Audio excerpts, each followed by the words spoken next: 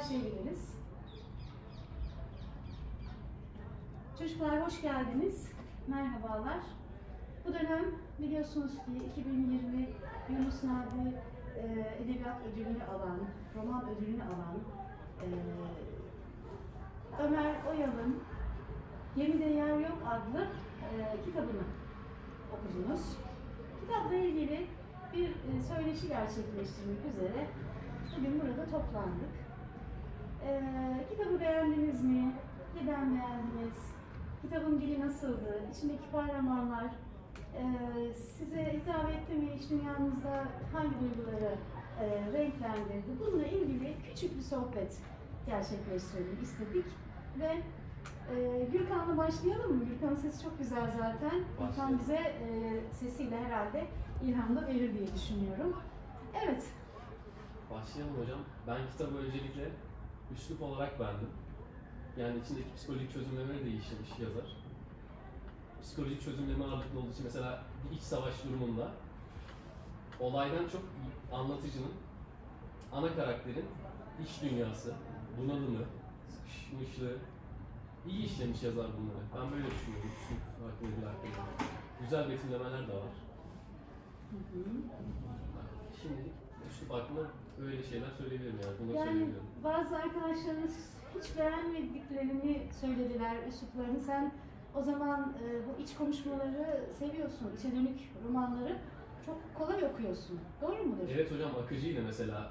İç, iç çözümlemeydi galiba yanlış bilmiyorsam. Hı hı. Akıcı şekilde okunuyordu üslup.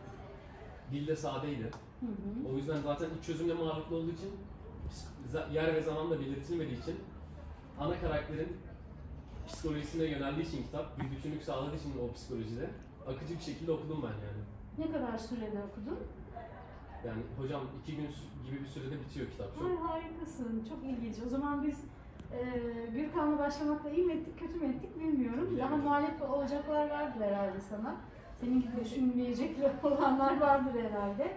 Gürkan çok beğenmiş, iç konuşmaları çok beğenmiş, ilginç. İç konuşmaların çok ayıcı olduğunu düşünenler olmuştu. Peki Kenan ne düşündü kitapla ilgili? Şöyle yüzlerimizi de görebiliyor muyuz? Ee, ben kitapta beğenmediğim tek şey sonuydu. Onun dışında kitap çok hoşuma gitti. Özellikle gerçekten psikoloji olarak adamın ne durumda olduğunu anlayabiliyorsunuz. Ee, adamın kitapta otoritesi, otoritesi gerçekten ilk başta çok böyle tuttuğu zaman yani ön planda otoriteyi tutuyor. Onlara karşı gelmeye çalışıyor evdekilerle bir ev içinde bir arbede yaşanıyor. Ama bu bir soğuk savaş gibi.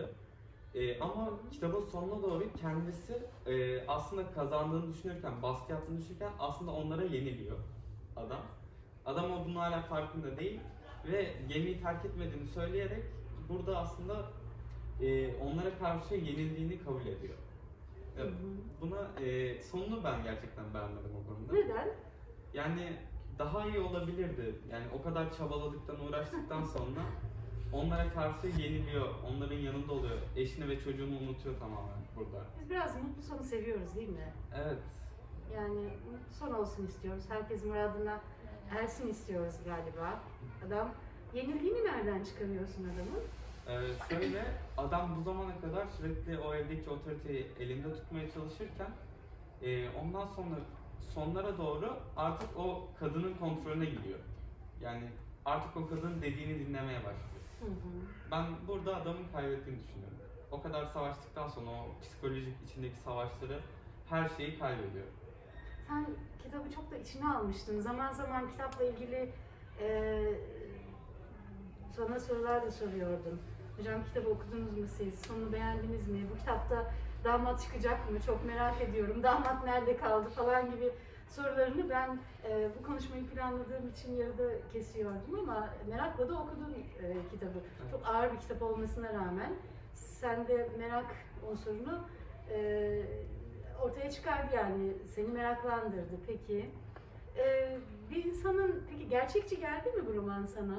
Bir insan böyle bir savaş döneminde gerçekten tanımadığı birilerine hani böyle bir şey yapabilir mi? Yani, Sen olsaydın yapabilir miydin bunu? yani ben olsaydım bir süre sonra dayanamazdım. Büyük ihtimalle evimden kovmaya falan çalışırdım. Çünkü bir savaş durumu ve kime güveneceğini bilmiyorsun. Hı hı. Yani bir de o nasıl diyeyim damatla olan diyalogları çok ilginçti. Hı hı. Mesela e, işte ilk başta damat yediklerinin parasını ödüyor. Sonrasında ama bana yediklerinin parasını ne zaman ödeyeceksin diye adama hesap soruyor. Hı hı. Ve yani çok ilginçti. Vallahi Beklemedim. harikasınız. Peki tekrar dönebiliriz ama eee Ceren'cim beğenmedi. Gözlerinden anlıyorum. Peki ne düşünüyorsun? Hocam ben beğenmedim. Çünkü bir kere bana çok sıkıcı geldi. İç konuşmalar falan aşırı baydı beni. Sürekli her bölümde aynı şeyden bahsediyor. Sürekli şikayet edip duruyor ama hiç de bir şey yapamıyor. Ve ya adamın böyle karakteri çok pasif kalıyordu bence. Ben olsaydım zaten en başından direkt o yaşlı kadını evime almazdım açıkçası. Çünkü savaş zamanı kimseye acıyamam, kendimi kurtarma derdinde olurdum. Hadi evime aldım, bir hata yaptım. İlk günlerde direkt kovardım artık gelmiyorsa damat dediğim kişi. Onun dışında eee karaktere çok sinir oldum hocam. İşte anlatıcıya yani. Aşırı pasif kalıyordu, hiçbir şey yapamıyordu. Ailenin her bir ferdi çok yüzsüzdü. Damat hele para istedi yani hocam o kadar süre evde kalmış ailecek yerleşmişler ona rağmen para istedi. O yüzden çok sinir oldum karakterlere. Sonunu hiç beğenmedim hocam. Yani en başından anlamıştım. O kadın eve geldiğinde anlamıştım zaten ne olacağını. Ama bu kadar saçma bir sonla bitirmez diye düşünüyordum açıkçası yazar. Fakat klasik bir son oldu ve hani o geride kalan karısına ve oğluna çok yazık olduğunu düşünüyorum. O yüzden beğenmedim yani ben. Ama kadın da sanki yani terk etmiş gitmiş gibi. Hani neden? Hayır hocam kadın e, bir kere Çocuğunu gitmek mu istememiş zaten. Adam onu zorla gönderdi oğlunu ve karısını zorla gönderdi. Hatta hı. oğlunun hani okulunda artık önemli olmadığını falan söylüyordu. Adam sürekli işte fotoğrafları tarıyorum bahanesiyle evde kaldı kaldı kaldı kaldı yani. Karısı sürekli onun çağırdı, ağladı, hesap sordu. Adam hiç sallamadı resmen yani. Ben o yüzden hiç beğenmedim hocam. Yani sonunda hele o diğer kadının birlikte olması çok saçma geldi bana. Bayağı şüpheci bir hareketti bence. Peki. Ee, Gülcan sen ne düşündün? Kesinlikle katılıyorum arkadaşıma. Zaten hani e, en baştan fotoğrafları taraması yerine karısıyla birlikte e, gitmesi daha mantıklı geliyordu bana. E, ve 150 sayfa boyunca sürekli yaşlı kadının memnuniyetsizliğinden, bu durumda şikayetçiliğinden bahsediyordu. Ve sıkıldım bu durumdan. E, en sonu zaten bana da çok saçma geldi. Hani karısını bir anda unutması, çocuğunu unutması, onları benimsemesi. e, böyle her şeyini, yemeğini falan paylaşması bana da çok saçma geldi. Bu durum yerine aslında hani e, Nuh'un gemisi benzeşmesi güzeldi e, bu savaşta. E, ama bu benzeşme yerine daha çok e, yaşlı kadın, e, onun damadı, kızı falan e, ön planda olduğu için bu geride kaldı ve ya çok keyif alamadım kitaptan. Bir de sürekli hocam mesela kovmasını bekliyor. E, gitmiyor, e, çoğalıyorlar bir de. Bu da benim çok sinirimi bozdu. Yani katılıyorum kesinlikle arkadaşıma. Yumurtlayan yumurta gibi. Yumurtlayan yumurta gibi. Peki sinirlendin yani okurken. Evet sinirlendim. yani böyle bir e, orada olsaydın sen kovardın onları. Öyle mi? Karısını da getirirdin o eve. Yani ben e, ne yapardım bilemiyorum ama e, bu kadarına da izin vermezdim herhalde. Hmm. Peki. Evet Furkan'cığım. Hocam ben pek beğenmedim çünkü galiba hani hikayenin bir tek sonlarına doğru yöneldi. Sanki yani yazar bütün olayları hocam sona doğru aktarmış gibi mesela. ilk başlarda bilmiyorum hocam ilk 100 150 sayfası biraz bana sıkıcı geldi. Ama o sonlara doğru hani eee bilmiyorum hani aslında hani o adamın karısını aldatması falan bilmiyorum beni biraz daha kitaba doğru bağladı yani merak duygusu uyandırdı. Ee, ben çok olayla ilgilenmedim aslında. Benim için akıcılığı önemliydi yani. O, ben onu merak ederek okumak istiyordum. Ee, hocam adamın da çok kararsızlığı var. Hani bir yandan şey istiyor, iyilik yapmış, kadın evine almış yaşlı kadını. Bir yandan da hocam sürekli kovmak istiyor. O da ne yaptığını farkında değil bence. Yani eğer iyilik yaptıysa, e, hocam iyiliği yap denize at demişler mesela yani. Bunu dile getirmemeli yani. Ben böyle düşünüyorum hocam. Peki insanların böyle hani günümüzdeki günlük yaşantımızla o yaşantının çok farklı olması falan sizi etkiledi mi?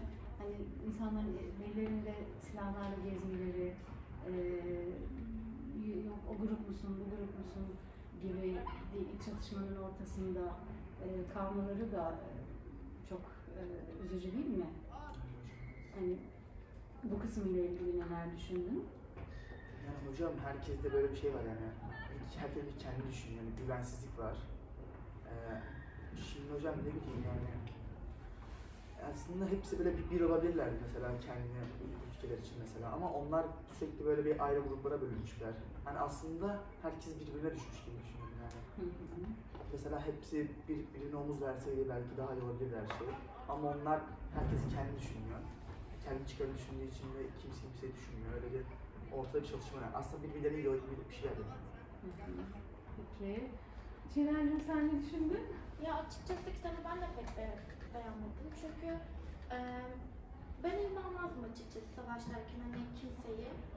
Hadi diyelim aldım diğerlerinde arsız gibi böyle sürekli çoğalmaları evde. Biri geliyor damat beni alacak gideceğim diyor. Damat gerçekten geliyor ama o da eve yerleşiyor. Hani ben sinirlendim okurken. Ben gitmelerini beklerken sürekli bildirik ekleniyor, kitaba şey oluyor, gitmiyorlar.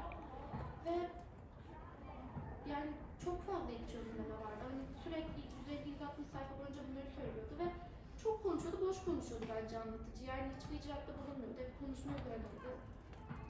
Sıkıcıydı yani olarak ve sonu da çok kötüydü bence. Ben hiç beğenmedim hani sonunu. Aldatması hiç hoş değildi. O e, memlekete gönderdiği eşine yazık oldu. Kadın onu sürekli telefonda arıyor işte gel yanımıza özledik seni ya da bekliyoruz nasılsın der gibi. O orada kendi derdini hı. Aldatma kırmızı çizgimiz diyorsun. Yani bir kadın Yaptığı çok hoş da değildi. o iç konuşmaları hiç değerli bulmadın mı? Ya hocam çok fazla hep aynı şeyleri söylüyordu ve bence sıkıcıydı. Hani biraz daha az olabilirdi. Az ve öz olabilirdi ama çok fazla vardı bence. Hı hı. Peki. Ee, Ceren'cim sen ne düşündün? Hocam ben de Çile'de katılıyorum. Gerçekten sonunda en azından kadının her şeyi öğrenmesini beklerdim. Aldattığını bilmesini. Yani adamın da bundan birazcık da olsa pişman olmasını isterdim. Böyle sonuçta ortada bir çocukları var. Birbirlerini seviyorlardı. Hani hiç önemsizmiş gibi bir gecede unuttu kadını, çocuğunu. Çok mutlu oldu mu? O aldatma hani nasıl bir aldatma? Birini yani ona aşık olarak olan bir aldatma mı? Bunun bir önemi var mı? Ya sonuçta aldattı yani. Ha, sonuç önemli Evet, diyorsun. sonuçta Kimse kimseyi ne olursa olsun ne fiziksel ne ruhsal aldatmamalı diyorsun. Evet. O konuda kızdım kahramana. Hiç konuşmaları sen de mi sıkıcı buldun? Yani bazı yerde gereksiz hani sayfayı sanki uzatmak için konuşulmuş gibi geldi bana. Hani Hı hı. onun dışında o kadar da değildi. Peki e, anlatıcının atıfta bulunduğu o büyük olayla e, benzeştirdin mi? Bu Nuh'un gemisi Ben meselesiyle oralarda kafam çok karıştı. Yani pek oraları anlayamadım doğrusu. Hı hı, çünkü postmodern e, romanların bir özelliği bu. Arka planında ya bize bir bilgi sunar ya da daha önceki bir edebi eserle e, bağlantı e, kurar anlatıcı. Ömer Oyan da bunu yapmaya çalışmış. Tabii biz de bunu anlamaya çalıştık. Bir romanı tüm e, ayrıntılarıyla anlayamayabiliriz. Anlamaya çalışıp hani bilgi edinebiliriz bilmediğimiz bir konuysa değil mi? Peki Merveciğim sen ne düşündün? Hocam bence kitabın dil ve üslubu güzeldi Ee, ama çok fazla iç çözümleme vardı. Ee, iç çözümleme ve psikolojiyi seven biri için belki iyi bir kitap olabilirdi ama benim gibi olay seven biri için sıkıcı gelebilir. Ee, akıcılığı güzeldi ama çok fazla gereksiz şeyleri anlatıyordu. Çok detaya iniyordu. Yani bu kadar detaya inmesine gerek yoktu. Yani sayfa sayısını uzatmak için yapıyormuş gibime geldi. Sonu farklı olabilirdi. Ben açıkçası sonunu damadın gelip işte eşini ve çocuklarını kayınvalidesini alıp e, evlerine dönmelerini bekledim. Adamın da kendi eşi ve çocuğunun e, yanına gitmesini bekledim. Çünkü yani konuştuklarına göre gerçekten hani birbirlerini seviyorlardı. E, ve ortada bir çocuk var sonuçta. Yani aldatması da bence hiç hoş olmadı. Yani Hmm. kendine hakim de olabilirdi. Evine alması güzel bir şey fakat e, hani belli bir düzeyden sonra gerçekten gitmelerini söylemesi lazımdı. Sen olsaydın yaşlı kadını evine mi almazdın yoksa evden çıkarır mıydın? Hocam bu kadar kalacağını eğer baştan böyle tahmin edebiliyor olsaydım kesinlikle evime almazdım. Ama mesela evine alarak güzel bir şey yapmış. Ama her güzel şeyin bir sonu olmalı maalesef. Bunun da bence gitmesi gerekiyordu. İyilikten maraz doğar derler eskiler. İyilikten maraz doğmuş. Evet hocam. Öyle bir şey olmuş değil mi? Evet hocam. Peki Açayla sen ne düşündün? Hocam e, kitap ben de beğendim. Yani çok fazla ayrıntıya girmişti. Arkadaşlarım dediği gibi çok fazla iç çözümleme vardı. Sonunda e, ben olsam asla yaş kadını eve almazdım bir kere. Yani çünkü savaş savaş zamanındalar ve e, herkes yokluk içinde kıtlık çekiyorlar. Yani üçüncü, dördüncü kişi hani bir sürü kişi geldi daha sonrasında. En başından almazdım. E, hadi aldıysam da hani kovardım. Çünkü adamın silahı var. İstese şey yapabilir yani gönderebilir. Ona rağmen e, çok pasif kaldı bence. Ben de hiç beğenmedim. Karısını aldatması zaten çok kötü yani. Çok ahlaksızca bir hareket. En başından kocasının hemen işte kadının kocasının ölümünden sonra hemen bir şekilde şey yapması. E, hem, hemen e, o kadınla birlikte olması falan çok kötü yani.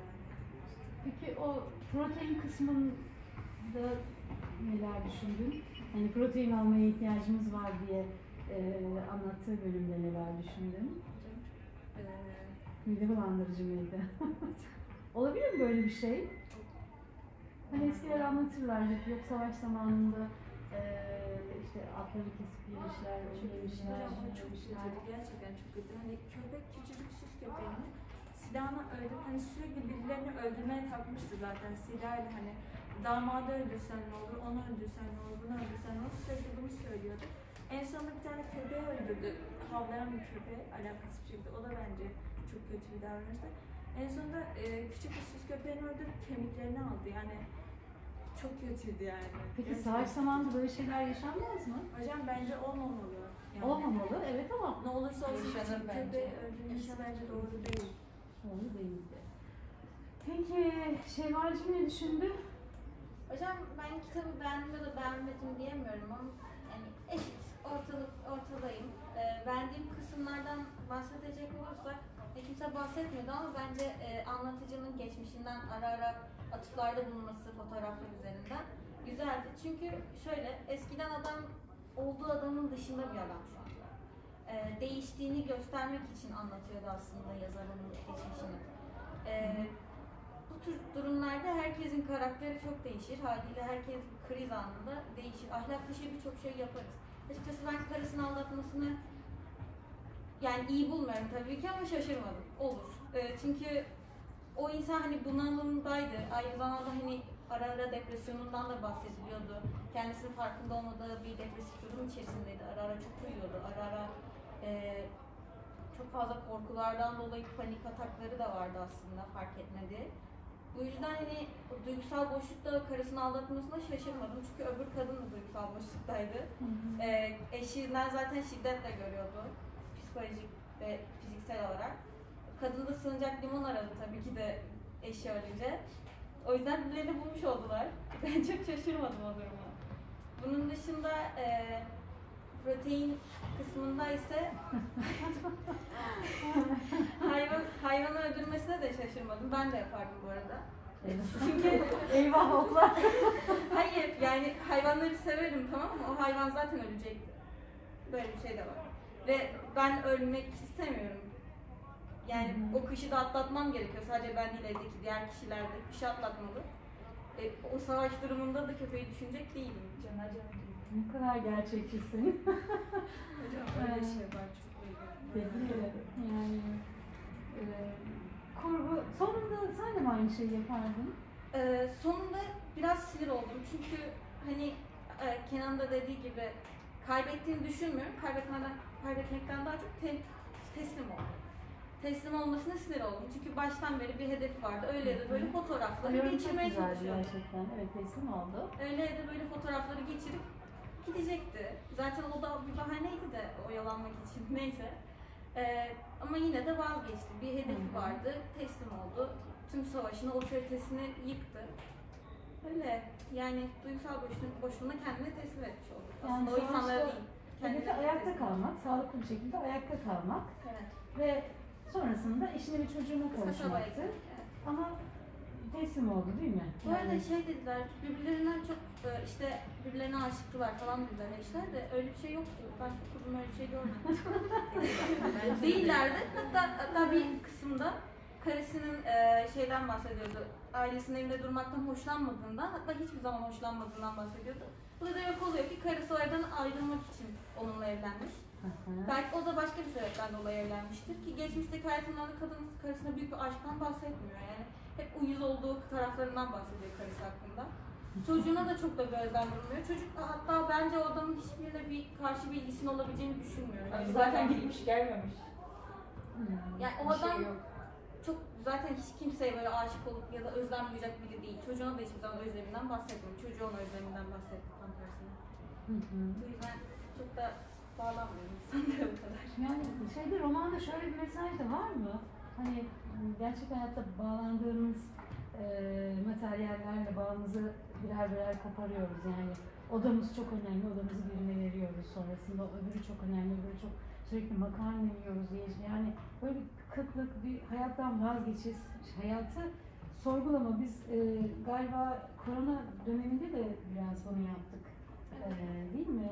Belki anneleriniz, babalarınız yaşları ve tecrübeleri itibariyle bunu belki biraz daha fazla e, hissettiler. Siz yaşınız itibariyle e, daha farklı hissettiniz ama e, yine de siz de kapandığınız dönemde hayatı sorgulayıp aslında çok değer verdiğimiz şeylerin bizim için çok da değerli olmadığını e, fark ettiniz diyebilir miyiz? Ben bu kitabı okurken bilmiyorum koronayla denk geldiği için mi e, ama biraz onun, onunla ilgili şeyleri de düşündüm, kendi içimde analiz ettim. Yani bu bakımdan da belki e, rastlaştı, örtüştü. Peki Hatice'cim sen ne düşündün? Ee, ben şöyle düşünüyorum. Ya iyilik yapmak çok güzel bir şeydir tabii de ne bileyim savaş zamanında o kıtlıkta falan ben gidip bir yaşlı kadına iyilik yapmam. Ona gidip yardım etmem. Zaten ölecek derim. Bırakırım onu. Apartmanda kalsın orada köşede. Yani evime almam. Zaten adamın yaptığı hata onun evine alması. Bir de e, kadın eve yerleşiyor, oğlunun yatağına yerleşiyor. Her şeyi kullanıyor falan. O adam o kadar onun işte e, böyle çok az az kullandı her şeyi falan. Sonra o kadın geldi o her şeyi şey yaptı. Ne bileyim o adamın onu kovmaması bir hata. Sürekli kovacağım böyle bahsedip sürekli şikayet edip kovmaması da bir şey ayrı. Aşırı sinirlendim ben. Sonra o köpek mevzusu zaten benim psikolojimi bozdu. ben normalde böyle bir şey olsun hayvan mesela aşırı araba mesela bir şeyini incitse bile çok cidden şey yapıyorum. Ağlıyorum falan böyle. O da aşırı bozdu. Peki temizlik alışkanlıkları e, aranızda çok titizler var mı? Böyle hani temizlik alışkanlıkları nasıl? Orada ben sabunun bittiğini düşünemedim mesela. El sabununun bittiğini. Sabunu e, işte tedarikli kullanmam gerektiğini. Bu kısmı beni çok e, geldi. Suyu işte yok bir litre mi harcadım, iki litre mi harcadım. Yani tabii ki israf etmiyoruz e, ama kaynaklarımızı hani dikkatli kullanıyoruz ama bir litre mi harcadık, iki litre mi harcadık Hiç takıntı. önem vermiyoruz değil mi? Savaş döneminde bunlar da galiba e, önemli oluyor. Peki efendim Kenan? Bir yorum ekleyebilir miyim? Evet. Kitabın orta kısımlarında Hazreti Nuh'a döndüğü zamanlarda eee, şey oluyor. Hazreti Nuh'un eee bir kuşla diyaloğu geçiyor. Evet işte dışarıya çıkmasını işte olayla bir şey kontrol etmesini istiyor. Ve kuş saçma bir şekilde şey cevabını veriyor işte karımı elimden mi alacaksın gibi bir şey diyor. Ben burada bunu çok saçma buldum. Ondan sonra kitabın sonlarına doğru damat hani o daireyi gemi gibi görüyorlardı. Damat e, silah alındıktan sonra, öldükten sonra, gemiden ayrıldıktan sonra yani damat kuzgun gibi düşündü. Ayrıldıktan sonra adam gerçekten de o gelin yani kadını çalıyor. Ben bunu orada bağdaştırdım. Kitabın sonunda bana mantıklı geldi. Evet, arka planda aslında e, Noh'un gemisi bir tesadüf değil. Yani o benzetmeyi tüm ayrıntılarıyla yazar e, tespit etmiş. Tabii biz postmodern romanlara alışkın olmadığımız için o kısmını sadece henüz hissettik. Bazen çocuklar bir edebi metin e, belli bir yaşta okuduğumuzda bize hitap etmez ama biraz zaman geçtikten sonra, belli bir hayat tecrübesine ulaştıktan sonra e, daha farklı anlamlar kazanır içimizde. 9. sınıfta sanatsal metinlerin özelliklerini konuşmuştuk.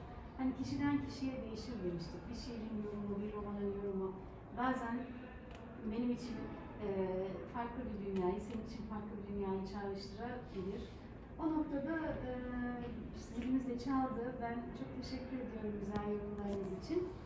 İnşallah başka bir kitap sohbetinde tekrar e, bir araya geliriz. Hadi bakalım derslerimize gidelim. Teşekkürler.